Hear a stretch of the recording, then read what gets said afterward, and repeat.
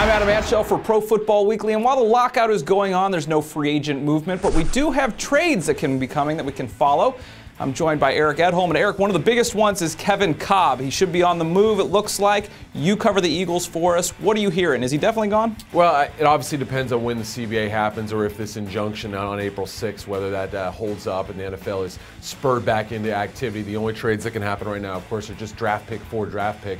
But that doesn't mean teams aren't talking. Kolb is one of the hottest veteran names out there. You know, everything I've heard from team sources, from uh, league sources, people around the league, is that this is probably going to happen. Kevin Kolb will be a former Eagle. It just depends on what the team can get for him. You know, they're going to set the price very high and see what teams are willing to offer. There are a lot of clubs out there that could use a quarterback. Yeah, we've definitely seen that. We've heard rumors that they've already been offered a first round pick. We don't know exactly if that's true.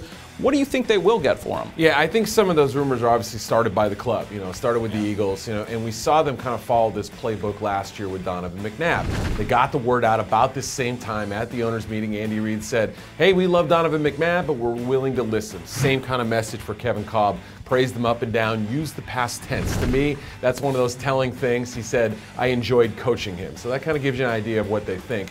So, you know, I would guess it starts with a first round pick, maybe a little something, uh, a little sweetener thrown in there from another team. They're going to let teams go back and forth, you know, play one offer against the other and see what they can get. I mean, we, we've seen him play a little bit, but we don't have a not a huge track record from him as a starter. Is he worth a first round pick? Well, it depends on what you want to say. I mean, you could look at Blaine Gabbert or Cam Newton or any of the other quarterbacks are coming out in this draft. Some of those guys are going to be considered top 10 picks. Is Kevin Kolb worth a top 10 pick?